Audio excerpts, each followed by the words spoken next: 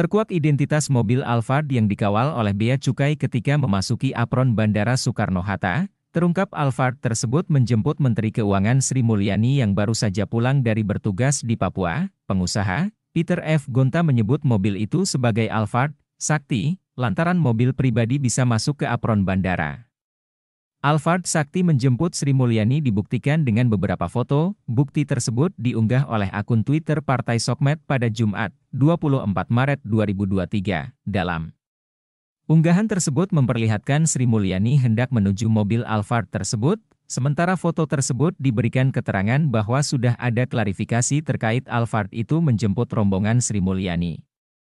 Sontak postingan tersebut ramai dikomentari oleh warganet, Terlebih apron merupakan area yang digunakan pesawat dan bukan tempat umum. Oleh sebab itu, banyak yang mencibir Sri Mulyani terkait mobil Alphard yang menjemputnya hingga masuk ke apron bandara, hal tersebut dianggap terlalu berlebihan dan tidak pantas.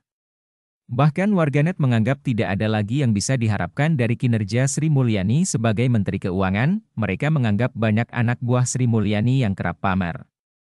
Harta di media sosial lantaran mencontoh pemimpinnya, termasuk soal kemewahan berupa keuntungan istimewa yang didapat sebagai seorang pejabat. Diketahui sebelumnya, Peter F. Gonta yang mengunggah foto sebuah mobil Alphard yang dikawal Bea Cukai masuk apron Bandara Soekarno-Hatta.